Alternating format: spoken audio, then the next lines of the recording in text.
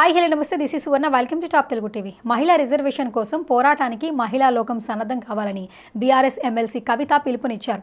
మహిళలకు చట్టసభల్లో ముప్పై మూడు శాతం రిజర్వేషన్ కల్పించాల్సిన అవసరం ఉందని అలా చేస్తే మహిళలు సమాజంలో ఎదుగుతారని తెలిపారు. మహిళలు కూడా రాజకీయాల్లోకి వస్తారని దీనివల్ల మహిళా సాధికారత సాధ్యమవుతుందని అన్నారు.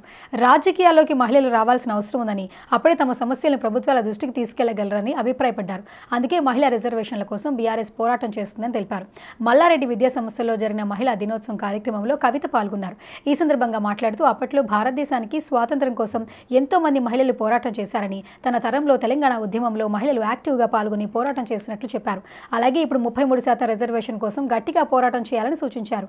పురుషులకు ఇచ్చే జీతాలతో సమానంగా తమకు కూడా జీతాలు ఇవ్వాలని కంపెనీలను మహిళలు డిమాండ్ చేయాలని కవిత పిలుపుకొచ్చారు. ఆడపిల్లలు స్మార్ట్గా ఉండడమే కాదు స్మార్ట్ ఫోన్లా ఉండాలని సూచించారు. అందరూ చెప్పినది ఓపిక్గా వినాలని ఆ తర్వాత మన మనసుకు ఏదనిపిస్తే అదే చేయాలని విద్యార్థులకు సలహా ఇచ్చారు. జీవితంలోకి ఎవరు కావాలో వాళ్ళని రానివ్వాలని నెగిటివ్ వ్యక్తులను రానివ్వకూడదని వ్యాఖ్యానించారు. ఎవరైనా మీపై కామెంట్ చేస్తే నవ్వి వారిని విస్మరించాలని సూచించారు.